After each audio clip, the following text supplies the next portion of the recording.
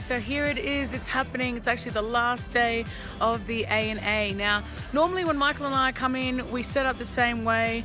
Make sure the cabinets are clean, switch the lights on, open the safe, blah, blah, blah.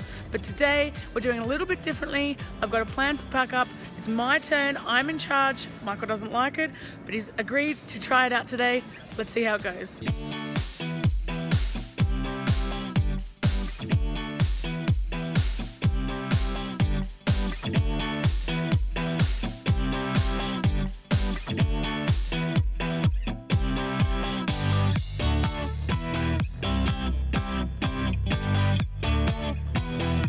Everyone, this is Joe. Now we ran into each other yesterday, is that correct? Yes, that is right. And yeah. he saw me running around the show with my camera and mentioned that he had a very interesting picture.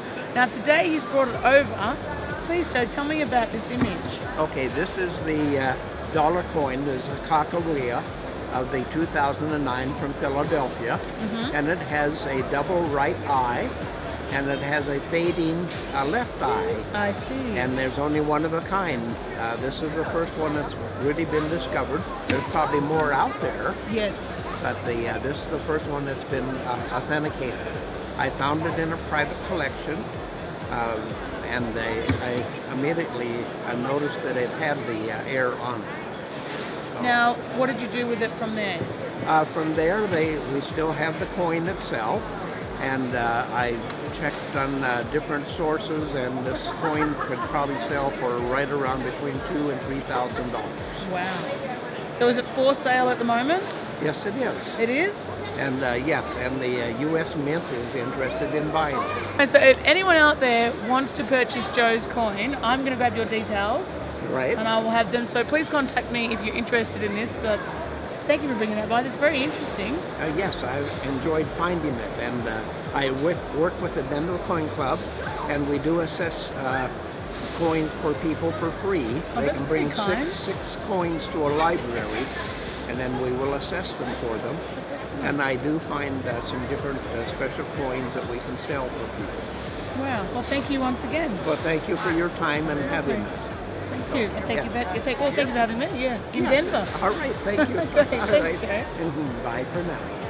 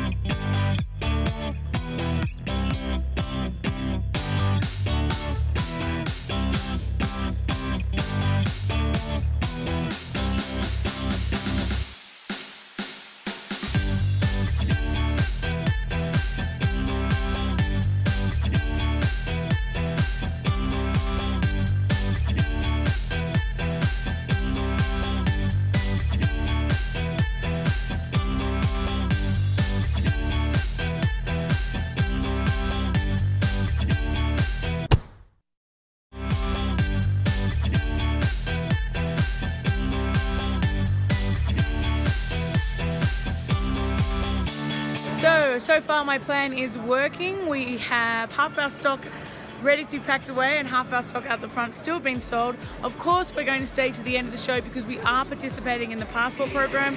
This is one of my big pet peeves when people or organizations leave early if they are participating in something. But trust me, EMK will be here to the end to give out that five cent piece on behalf of the Royal Australian Mint.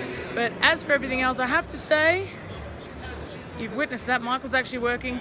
Looks like we're going to be packed up on time and organised, so that's good.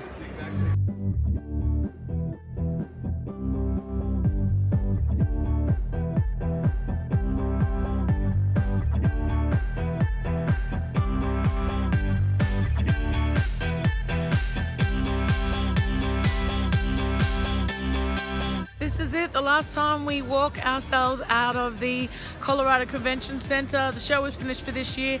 Thank you to everyone who watched and commented on the vlogs. I'm lucky I got them all done in time.